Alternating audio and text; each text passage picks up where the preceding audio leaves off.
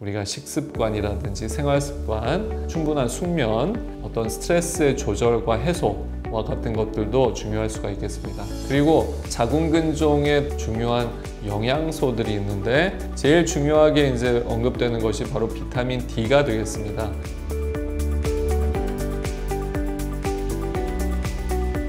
하이프 치료를 하면 재발이 잘 된다라고 하는 어떤 이제 속설 아니면 한간에 떠도는 어, 이야기가 있는 것 같습니다. 그거에 대해서 제가 조금 설명을 해드리도록 할 건데요. 외과적으로 만약 혹을 제거를 했다라고 하면 그 혹은 이제 없어지겠죠. 재발이라는 것은 다른 곳에 새로운 혹이 생기는 것을 말하게 됩니다.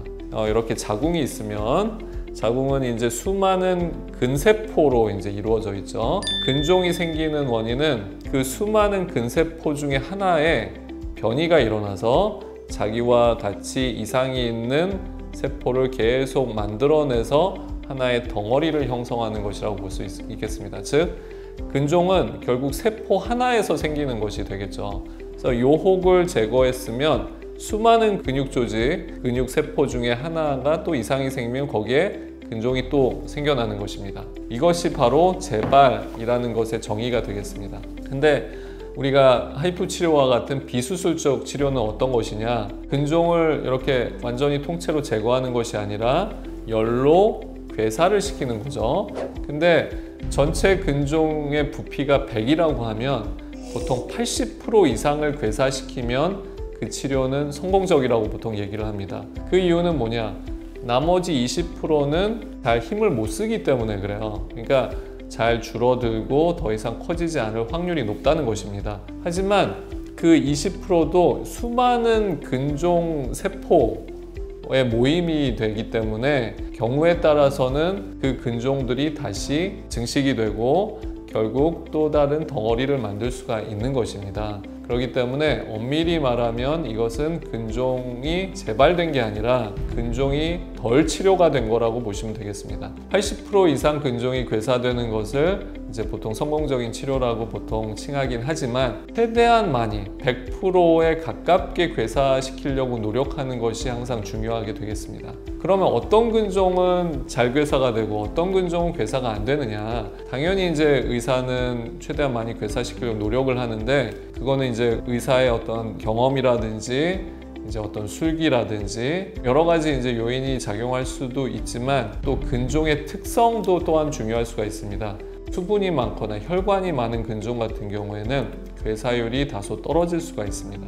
그런 경우에는 어떻게 하면 되느냐? 우리가 6개월 정도 후에 근종 상태를 파악을 해서 남아있는 부분이 많다라고 하면 한 차례 정도 더 시술을 할 수도 있게 되겠습니다.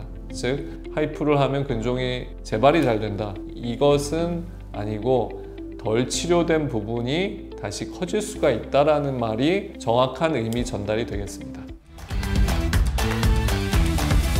자궁에 생기는 어떤 무서운 병으로는 어, 사실 자궁 육종이라는 게 있죠. 보통 자궁 근종과 자궁 육종을 외형만으로 구별하는 것은 상당히 어려울 수가 있습니다. 보통 근종의 0.2에서 0.4% 정도는 악성 종양일 수도 있다. 이렇게 이제 보통을 얘기하는데 근데 이것은 어떤 초음파라든지 영상 장비로 진단하는 것은 초기에는 좀 어렵고 결국은 외과적으로 제거를 해서 발견하는 경우들이 어, 많습니다. 대부분 99% 이상의 근종은 결국은 양성 종양이 되는 것이고 0.2% 정도의 굉장히 드문 경우에는 악성은 있을 수 있다. 그렇기 때문에 우리가 근종이 처음 발견됐을 때는 어느 기간 추적 관찰하는 것이 중요하겠고 우리가 치료를 결정을 해야 된다고 하면 정확한 영상 진단을 통해서 일단 확인을 하고 그 다음에 치료 방법을 결정을 하고 그 다음에 치료 후에도 경과 관찰을 하는 것이 중요하겠습니다. 그래서 이 혹이 정말 우리가 예상하는 양성 종양이 혹시 아닌지 굉장히 드물지만 추적 관찰의 절차도 매우 중요하다 이렇게 말씀드릴 수가 있겠습니다. 우리가 자궁근종은 사실 여성 두 명 중에 한 명 정도 있을 정도로 굉장히 흔한 질환입니다. 그렇기 때문에 근종이 있다라고 해서 너무 의기소침하거나 속상해할 필요는 없는데 이 근종이 결국 증상을 유발하거나 난임을 유발할 확률은 약 한 30% 정도가 됩니다. 그러니까 근종이 있다고 해서 반드시 어떤 치료가 필요한 건 아니고 일단 추적 관찰을 어느 정도 해볼 수가 있고 증상이 발생하거나 할 때는 이제 치료를 결정을 하게 되는 거죠. 우리가 근종이 생기는 원인은 뭐 다양하게 있을 수는 있겠습니다. 일단 유전적인 요인이 좀 클 수가 있는데 특히나 다발성 근종이나 성근증 같은 경우에는 이제 유전적인 요인이 많기 때문에 어머니가 아니면 여자 형제가 뭐 이모가 이렇게 이제 근종 성근증이 있다라고 했으면 주기적으로 검진을 하는 것이 중요하겠고 두 번째 원인은 이제 환경적인 요인이 되겠죠. 그래서 우리가 식습관이라든지 생활 습관, 충분한 숙면, 어떤 스트레스의 조절과 해소와 같은 것들도 중요할 수가 있겠습니다.